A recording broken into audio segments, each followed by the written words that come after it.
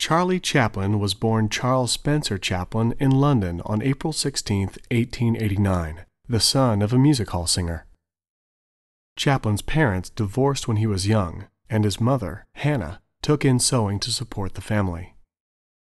She suffered from mental illness and was hospitalized when Charles was seven. She was in and out of institutions throughout her life. Chaplin first appeared on stage at age nine when he toured with a company whose cast included a contemporary of his named Stan Laurel. At 14, Chaplin received good notices for a part in the stage play Jim, a Romance of Cockayne, and earned another part that led to a year long tour he joined a group of performers known as the Karno Troupe, where he once again worked with Stan Laurel. Chaplin toured the U.S. vaudeville circuit twice with Karno, and after the second trip, he remained, finding work at Mack Sennett's Keystone Film Studio. Chaplin was at Keystone for a year and made 36 films. He also directed his first movie, 20 Minutes of Love. He was 25 years old.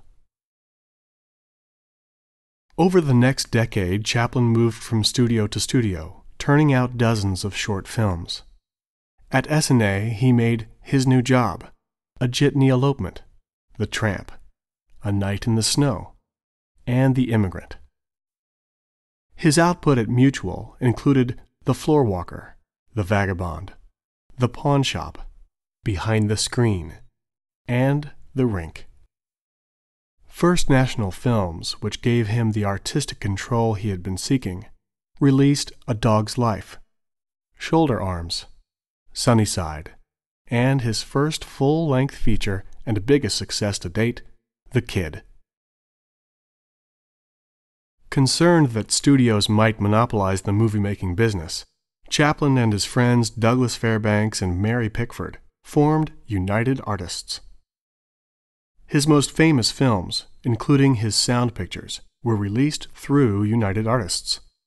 These include The Gold Rush, The Circus, City Lights, Modern Times, The Great Dictator, and Limelight. Chaplin was honored for The Circus at the very first Oscar Awards in 1928. He received two more Oscars, one for the musical score to Limelight and one honoring what the Academy described as the incalculable effect he has had in making motion pictures the art form of this century. Chaplin thought talking pictures were a fad, and his first picture, City Lights, contained no dialogue, only music and sound effects. Theater owners did not want to take a chance on the film, and Chaplin had to rent a theater to hold the premiere. Response was resoundingly positive, and the movie went on to enjoy huge success. Chaplin's first true talking picture was The Great Dictator, released in 1940.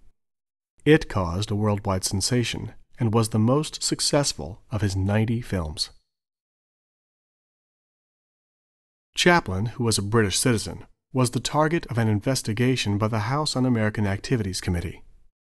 And while he was in Europe, following the filming of Limelight, the U.S. State Department revoked his visa and blocked the release of Limelight.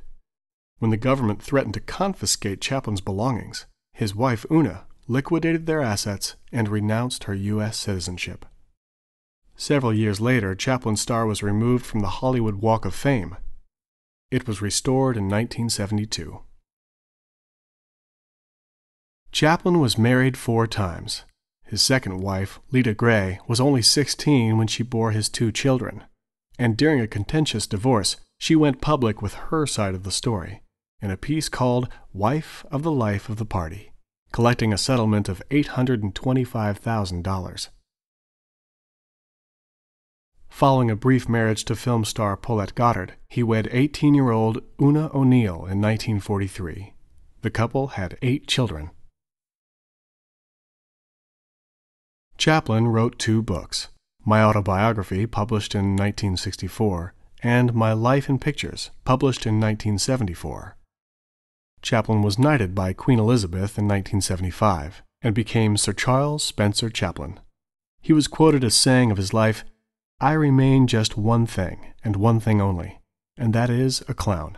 It places me on a far higher plane than any politician. Charlie Chaplin passed away on Christmas Day 1977 at his home in Vevey, Switzerland.